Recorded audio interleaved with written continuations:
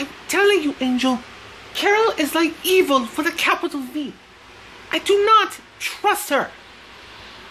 Eh, to be fair, do you trust any man? Any woman, even? Even your friends? Especially your boyfriend, Hal Jordan? Ow! I am not his girlfriend! Sure, of course you're not. Angel, I'm not.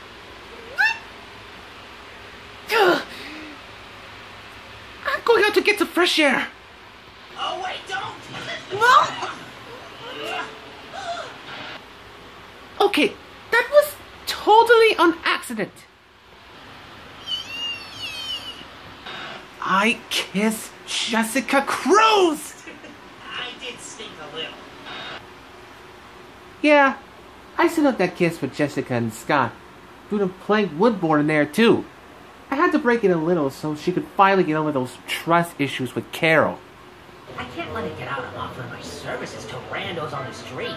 It was a quick cash grab. Besides, there's only room on this island for one smart guy.